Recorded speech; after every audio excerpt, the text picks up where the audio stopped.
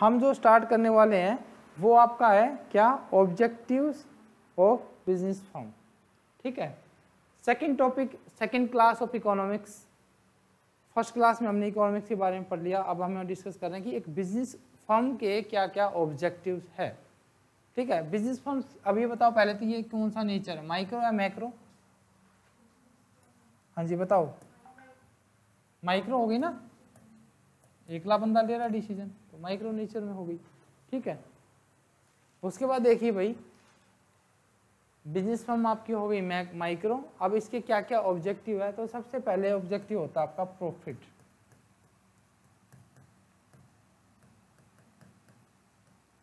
ठीक है? और दूसरा इसी के रिगार्डिंग हमने बना दिया अल्टरनेटिव ऑब्जेक्टिव प्रॉफिट और अल्टरनेटिव ऑब्जेक्टिव मतलब कि प्रॉफिट के अलावा क्या क्या ऑब्जेक्टिव हो सकते हैं वो? तो पहले हम प्रॉफिट के बारे में पूछेंगे। पहले तो हम पढ़ेंगे what is the concept of profit concept of profit profit की कंसेप्ट क्या है? अब देखो सिंपल सी बात है। अलग अलग कंसेप्ट है भाई आपकी। अकाउंटिंग प्रॉफिट होता है एक आपका एक आपका होता है। रेवेन्यू अकाउंटिंग प्रॉफिट होता है, एक आपका इकोनॉमिक प्रॉफिट होता है। अकाउंटिंग और एक होता है प्योर प्रॉफिट आप देखेंगे कैसे। सबसे पहले हम देखो, बात करते हैं कंसेप्ट ऑफ़ अकाउंटिंग प्रॉफिट देखो अकाउंटिंग का मतलब क्या है, आप, हमने पढ़ा है अकाउंटिंग का मतलब क्या होता है? हम अकाउंटिंग में सिर्फ़ उन चीज़ को रिकॉर्ड करते हैं, जो जो क्या है क्वांटिटेटिव मेजरेबल है और मनी में मेजरेबल है। मनी मेज़रमेंट कंसेप्ट जो कही है। है ना? आप लिखते हो हंड्रेड के जी आपने सोल्ड किया तो ये अकाउंट लिखा नहीं जाएगा। आप ये लिखोगे, हंड्रेड के जी की प्राइसेस क्या थी? उसकी उससे कितना अमाउंट रिसीव हुआ? तो वो आपका यहाँ पर आ जाएगा। ठीक है? तो क्या हुआ आपका? अकाउंटिंग प्रॉफिट जो होता है, वो क्या रिकॉर्ड करता है? Only accounting cost and revenue है ना? अकाउंटिंग कॉस्ट मतलब जो उसको आप रिकॉर्ड कर सकते हो, जो रिकॉर्ड करने लायक है। ठीक है? तो इसके अकॉर्डिंग जो आपका प्रॉफिट होता है, वो क्या होता है? टोटल रिवेन्यू माइनस में टोटल कॉस्ट जो आपकी मैचिंग कंसेप्ट भी कहती है। आप समझते चलना अकाउंटिंग के कुछ और कंसेप्ट भी। पहली बात हमने क्या किया कि हम सिर्फ़ उन कॉस्ट को रिकॉर्ड करते हैं जो आपकी एक्चुअल में मतलब पे की गई है out of pocket cost explicit cost दूसरा अपना रिवेन्यू वही रिकॉर्ड होंगे जो आपने मिले हैं। ठीक है? तो एक तो ये चीज़ समझो आप। टोटल रिवेन्यू माइनस में टोटल कॉस्ट और इसको आप लिख सकते हो टोटल रिवेन्यू माइनस में एक्सप्लिसिट कॉस्ट एक्सप्लिसिट कॉस्ट कौन सी होती है? जो बिज़नेस से बाहर कैश के रूप में बाहर पे की जा रही है। पैसे के रूप में बाहर जा रही है। वो कौन सी होगी आपकी? एक्सप्लिसिट कॉस्ट आई बात समझ में? एक्सप्लिसिट कॉस्ट का मतलब आउट ऑफ़ पॉकेट कॉस्ट इसको और मैं क्या बोल सकता हूँ? Out of pocket cost out of pocket cost का क्या मतलब है? ऐसी कॉस्ट जिसको आपने बाहर पे किया है। फॉर एग्ज़ाम्पल आपने रेंट पे किया, बाहर दिया। ये आपकी एक्सप्लिसिट कॉस्ट है, ठीक है? आपने मान लो कोई मशीनरी परचेज की, बाहर पैसे दिए, ये भी आपकी एक्सप्लिसिट कॉस्ट क्योंकि इससे पैसा बाहर गया है। तो वो अकाउंटिंग प्रॉफिट में आया कि टोटल रिवेन्यू माइनस में टोटल अकाउंटिंग कॉस्ट या एक्सप्लिसिट कॉस्ट ये कंसेप्ट है किसकी? अकाउंटिंग प्रॉफिट की। बिल्कुल आपको समझ में आ गई होगी ये। दूसरा है आपके पास इकोनॉमिक प्रॉफिट कौन सा प्रॉफिट आपका? इकोनॉमिक प्रॉफिट इकोनॉमिक प्रॉफिट में, देखो, ध्यान से सुनना। इकोनॉमिक प्रॉफिट में टोटल रिवेन्यू में से एक्सप्लिसिट कॉस्ट तो घटाएँगे ही एक्सप्लिसिट कॉस्ट इसके अलावा हम जो डिडक्ट करेंगे, वो करेंगे इम्प्लिसिट कॉस्ट अब इम्प्लिसिट कॉस्ट क्या होती है?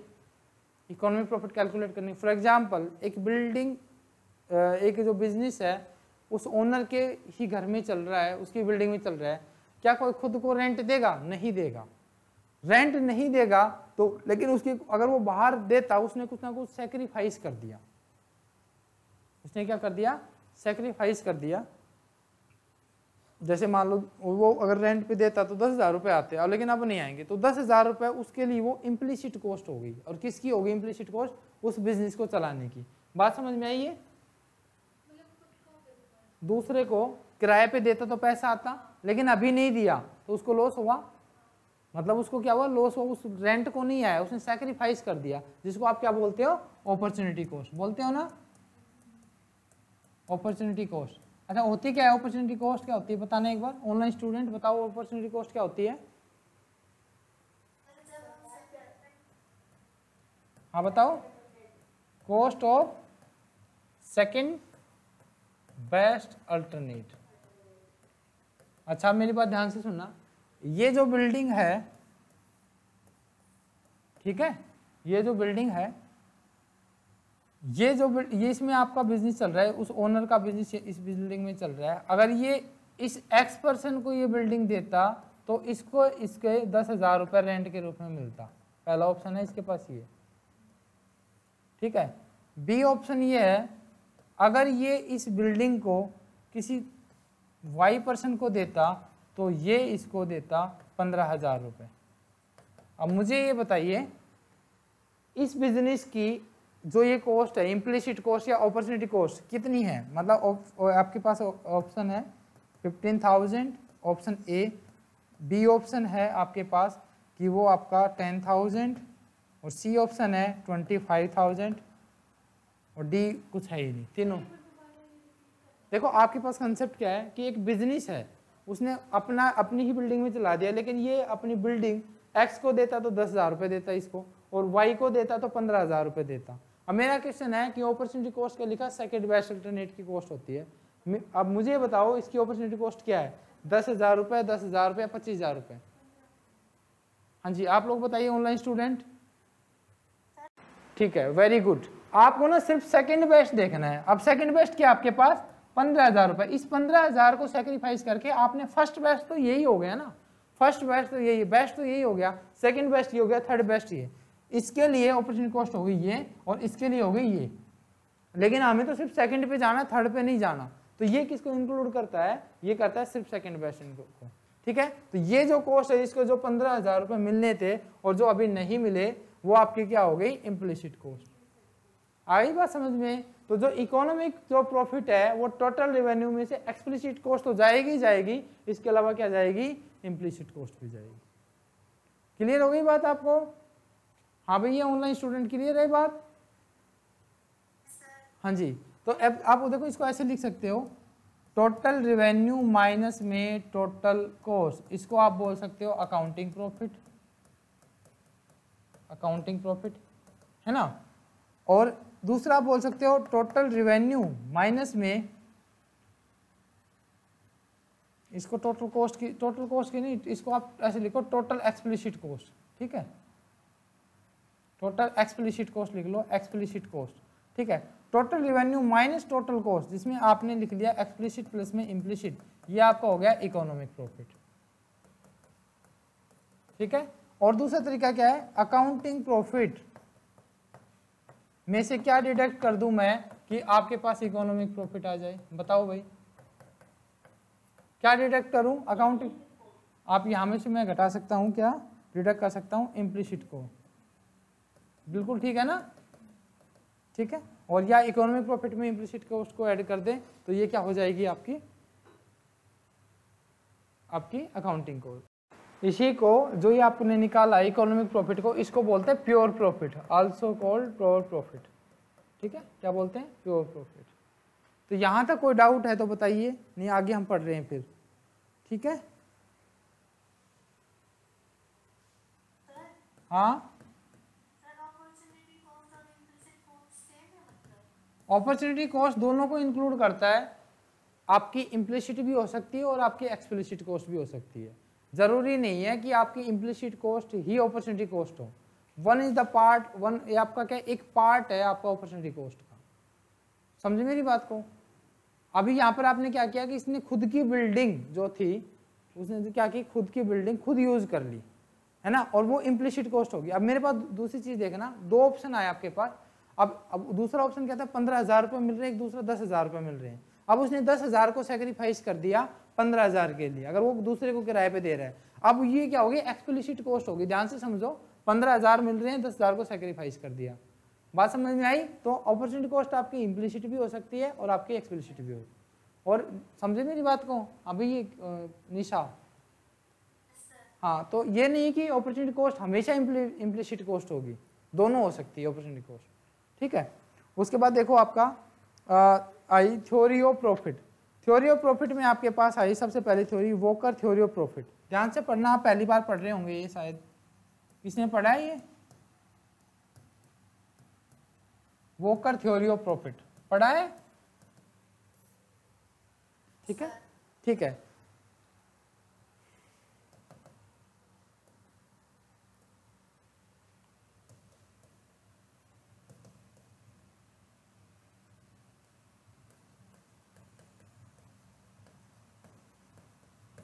और रेंटेबिलिटी रेंटेबिलिटी थ्योरी देखो भाई, क्या कहती है? वोकर की थ्योरी क्या कहती है? रेंट थ्योरी बोल सकते हो इसको आप। रेंट थ्योरी ऑफ़ वोकर ऐसे भी लिख सकते हो।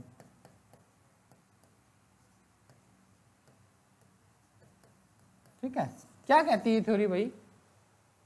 देखो, आपके पास एक घर है जो गुरुग्राम में है। ठीक है?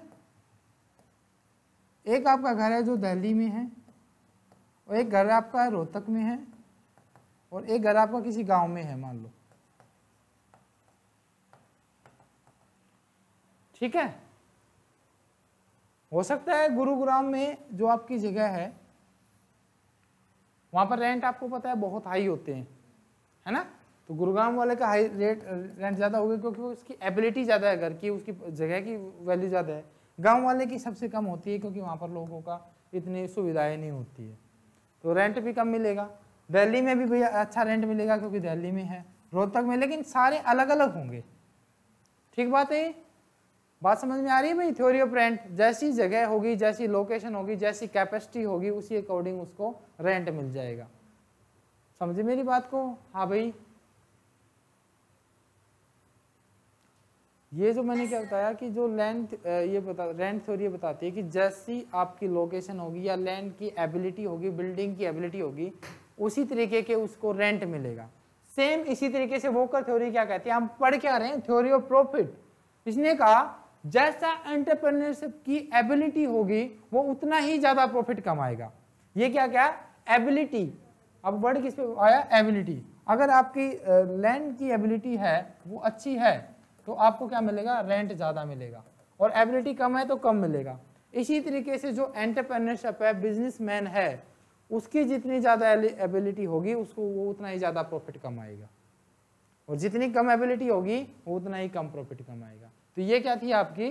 वोकर थ्योरी सेकेंड जो आपकी थ्योरी है, वो कौन सी है? क्लार्क वो वोकर की थी रेंट एबिलिटी वाली, और ये थी Clark dynamic theory of profit Clark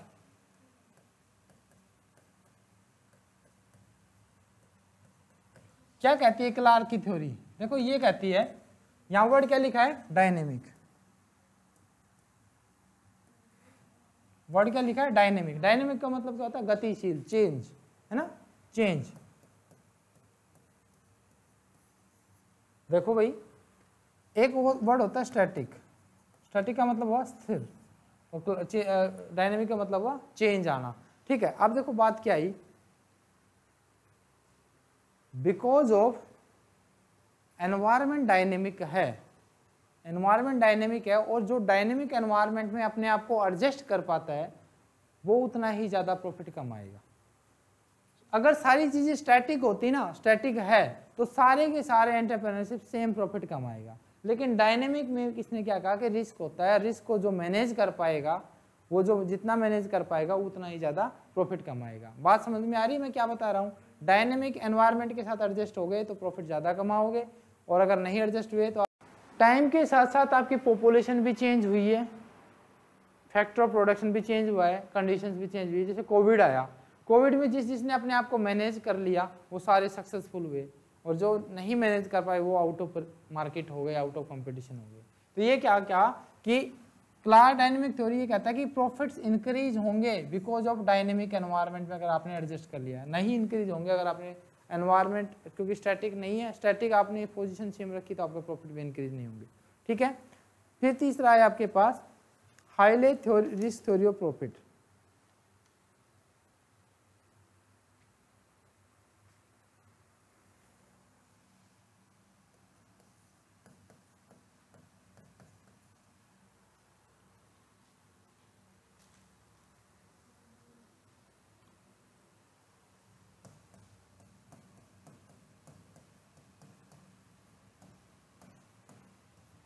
सभी को पता है कि रिस्क और रिटर्न में कैसा रिलेशनशिप होता है भाई? जितना रिस्क लोगे, उतना ही ज़्यादा क्या होगा आपको? प्रॉफिट होंगे ना? तो इनमें क्या होता है? पॉजिटिव रिलेशनशिप होता है। तो हाईली ये कहता है कि भाई, आपका जितने ज़्यादा रिस्क उठाएगा, रिस्क बियरिंग कैपेसिटी आपके प्रॉफिट डिपेंड्स करता है किस पर? रिस्क बियरिंग कैपेसिटी पर। क्या कहता है? भाई, जो जितना ज़्यादा रिस्क उठाएगा, वो उतना ही ज़्यादा आपके प्रॉफिट कमाएगा। ठीक है? यहाँ पर क्या बताया मैंने आपको?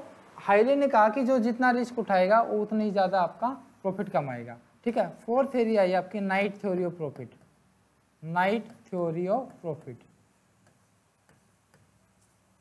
इसने क्या किया? इसका थोड़ा सा एक्सटेंशन ले लिया। इसने नाइट थ्योरी ने। भाई, जो रिस्क है ना, उसके दो पार्ट बना दिया।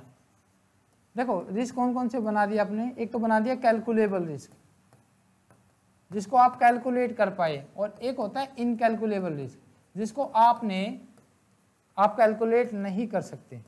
ठीक है? अब नाइट ने क्या कहा? नाइट ने ये कहा कि ये कैलकुल कैलकुलेबल रिस्क को तो सभी ने कैलकुलेट कर लिया, सबने अपने आप को मैनेज कर लिया इसके अकॉर्डिंग ठीक है? लेकिन इनकैलकुलेबल जैसे कोविड की सिचुएशन थी, लोगों ने मैनेज नहीं मतलब पता नहीं था। इसमें जिसका मैनेजमेंट अपने आप फिट बैठ गया, उसने अपने आप को मैनेज करा दिया तो उसको वो ज़्यादा प्रॉफिट कमाएगा as compare to as compare to जो मैनेज नहीं कर पाए। ठीक है?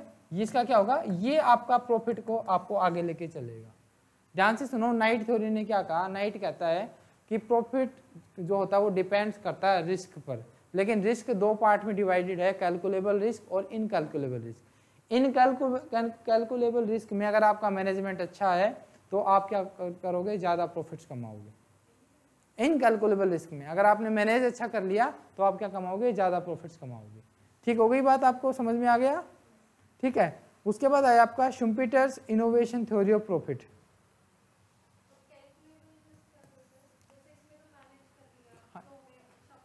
calculable आपने कैलकुलेट कर लिया। अगर आप कैलकुलेट कर रहे हैं तो सभी कैलकुलेट कर रहे हैं। और सभी कैलकुलेट कर रहे हैं तो सभी ने अपने आप को मैनेज कर लिया। तो यहाँ पर तो सभी ने बराबर प्रॉफिट कमाया। यहाँ पर तो बात ये हुई, इसके अकॉर्डिंग नाइट के अकॉर्डिंग इनकैलकुलेबल ऐसा रिस्क जिसको कैलकुलेट नहीं किया जा सकता, उसमें आपका मैनेजमेंट कितना सक्सेसफुल है। उसी के अकॉर्डिंग आपका प्रॉफिट्स आपका कमाया जाएगा, ठीक है? उसके बाद आया Schumpeter Schumpeter theory of innovation ये देखो एंटरप्रेन्योरशिप में बहुत ज़्यादा यूज़ होता है Schumpeter in theory of innovation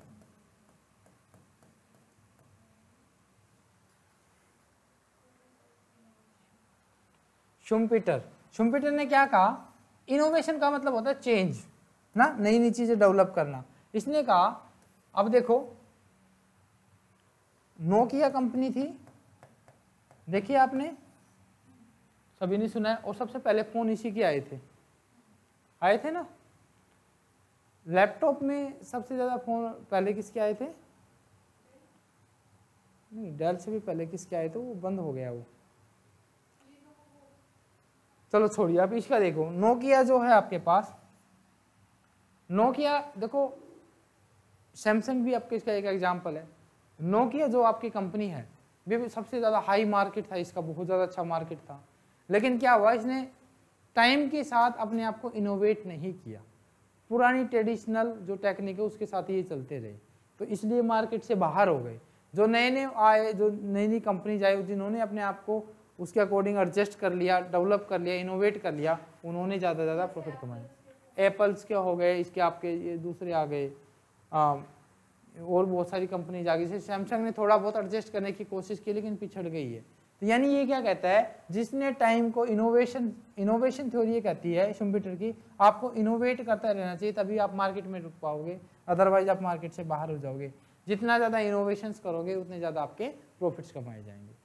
ठीक है? आई बात समझ में? और एक लास्ट इसमें monopoly power as a source of profit monopoly power as a source of profit source of profit monopoly power as a source of profit ये कहता है, देखो, अब मेरी बात ध्यान से सुनो। रिलायंस जियो के पास टोटल मार्केट का ऑलमोस्ट सिक्सटी परसेंट शेयर है। तो प्रॉफिट भी ज़्यादा, यही कमाएगी है ना? एयरटेल हुआ। पहले देखो सारी कंपनियाँ थी एयरटेल आपकी वोडाफोन आइडिया अभी तो मर्ज हो गई वीआई बन गई है ना? अब अब शेयर किसके पास ज़्यादा है? शेयर है जियो के पास। तो प्रॉफिट भी कौन कमाएगा? जि, जियो ही ज़्यादा कमाए तो ये कहता है जिसके पास जितनी मोनोपोली पावर होगी उतना ही ज़्यादा प्रॉफिट कमाएगा। तो ये थी किसकी? आपकी ये थी सारी mono theory of theories of profits ठीक है? उसके बाद देखिए अब आपका सम, बात समझिए आपने जो पढ़ी है आज क्या क्या पढ़ा है? कौन कौन सी थ्योरीज पढ़ी है? देखो आपने सबसे पहले पढ़ा देखो किस कौन सी किसके बेस पे है? सबसे पहले आपने पढ़ा रेंट थ्योरी रेंट थ्योरी क्या कहती है? भाई जिस लैंड की जैसी एबिलिटी होगी वैसा उसको रेंट मिलता है। उसी तरीके से एंटरप्रेन्योर्स जितना एलिजिबल होगा एबल होगा उसके उतने ज़्यादा प्रॉफिट कमाया जाएगा। ठीक है? उसके बाद आया क्लार्क थ्योरी क्लार्क ने क्या कहा? भाई एनवायरमेंट डायनेमिक है। डायनेमिक एनवायरमेंट है तो आप एडजस्ट करो प्रॉफिट ज़्यादा कमाओगे। अगर स्टैटिक होता तो प्रॉफिट में चेंज ही नहीं होता। ठीक है? क्योंकि डायनेमिक का मतलब पॉपुलेशन चेंज हुई है टेक्नोलॉजी चेंज हुई है ये आपको डायनेमिक हुआ। हाईले ने क्या कहा? और रिस्क जो नहीं कैलकुलेबल नहीं है इसमें। पहले रिस्क है। जो रिस्क उठाएगा, किसने? हाईले ने कहा रिस्क उठाओ प्रॉफिट बनाओ। और नाइट ने कहा कि भाई रिस्क तो है, लेकिन रिस्क के दो पार्ट है। कैलकुलेबल इनकैलकुलेबल कैलकुलेबल से कोई फ़र्क नहीं पड़ता, सबने कैलकुलेट कर लिया। इनकैलकुलेबल कैलकुलेबल जिसका मैनेजमेंट अच्छा उतना ही प्रॉफिट कमाएगा। और लास्ट में पढ़ा शुम्पिटर की इनोवेशन थ्योरी अपने आप का इनोवेशन करना चाहिए और मतलब उतना ही ज़्यादा प्रॉफिट कमा पाओगे आप। ठीक है? एक आई monopoly power as a source जिसके पास जितनी मोनोपोली उसके उतना ही ज़्यादा प्रॉफिट कमाएगा। ठीक है?